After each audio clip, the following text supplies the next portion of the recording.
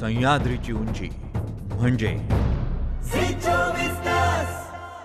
सोलापुरातील लोकास्था फाउंडेशनच्या वतीनं बाळे येथील एक एकर शेतात ज्वारीच्या कडब्यापासून शिवाजी महाराजांची प्रतिमा साकारण्यात आली आहे.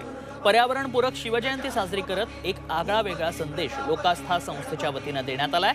दरवर्षी प्रतीक तांदळे आणि त्यांची टीम वेगवेगळ्या प्रकारे शिवजयंती साजरी करत असते. यंदा त्यांनी अशा प्रकारे शिवजयंती साजरी केली आहे.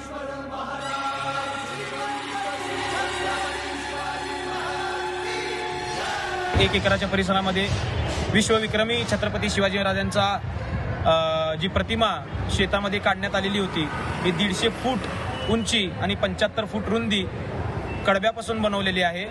आणि वेगवेगळ्या खतांचा वापर करून ती प्रतिमा आम्ही साकार कर साक साकारलेली आहे. यासाठी कमीत कमी आम्हाला दहा ते पंधरा दिवस वेळ गेलेला आहे.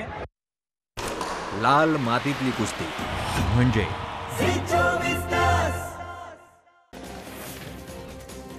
कोल्हापूर जिल्हा दूध उत्पादक संघ अर्थात गोकुळ दूध संघाच्या पंचवार्षिक निवडणुकीच्या पार्श्वभूमीवर प्रारूप यादीत असलेल्या दुबार ठरावावर दोन आणि तीन मार्चला सुनावणी केली जाणार आहे. इतर हरकतींवर चार मार्चला सुनावणी घेतली जाईल. एकूण पस्तीस दुबार ठराव दाखल झाले त्यावरती विभागीय उपनिबंधक दुग्ध यांच्यासमोर सुनावणी पार पडेल.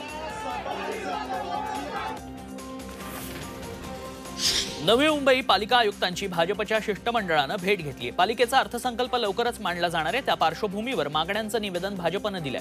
नवी मुंबईतल्या नागरिकांना कोरोना लस मोफत देण्यासाठी यंदाच्या अर्थसंकल्पात दीडशे कोटींची तरतूद करावी कोरोना काळातला मालमत्ता आणि पाणी कर माफ करावा तसंच फ्लेमिंगो सफारीसाठी आर्थिक तरतूद करावी शहरात उड्डाणपूल तयार करावे अशा मागण्यांचं निवेदन आयुक्तांना देण्यात आलंय. पिंपरी चिंचवडमध्ये गेल्या आठ दिवसात कोरोना रुग्णांची संख्या मोठ्या प्रमाणात वाढली आहे. महापालिका प्रशासनानं पुन्हा एकदा नियमांची कडक अंमलबजावणी करण्याचा आदेश दिलाय.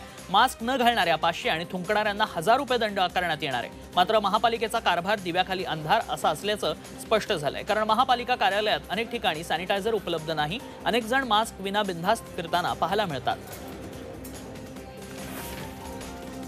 भंगार व्यवसायाच्या आडून गांजाचा धंदा करणाऱ्या मोहन राठोड याला रायगड पोलिसांनी अटक केली आहे. त्याच्याकडनं चार किलो गांजा आणि गांजा ओढण्यासाठी लागणाऱ्या अठ्ठावीस चिलीम असा जवळपास पन्नास हजारांचा माल हस्तगत करण्यात आला आहे. अहमदनगर पोलिसांनी मध्य प्रदेशातनं एका टोळीला अटक केली आहे. ही टोळी हाय प्रोफाईल लग्नांमध्ये चोरी करायची.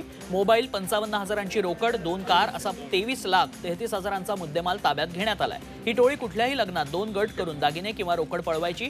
शिर्डीत एका हॉटेलमध्ये लग्न समारंभात या टोळीनं दीड लाखांची रोकड चोरली होती. भोर पोलीस ठाण्याच्या कोठडीतनं दोन आरोपींनी फिल्मी स्टाईलनं पलायन केलंय. कोठडीचे लोखंडी गज कापून आरोपी पळून गेले. चंद्रकांत लोखंडे आणि प्रवीण राऊत अशी फरार आरोपींची नावं आहेत. या आधीही या आरोपींवर चोरीचे गुन्हे दाखल करण्यात आले होते. पोलिसांच्या वेशात येऊन या आरोपींनी ज्वेलर्सवरती दरोडा टाकला होता.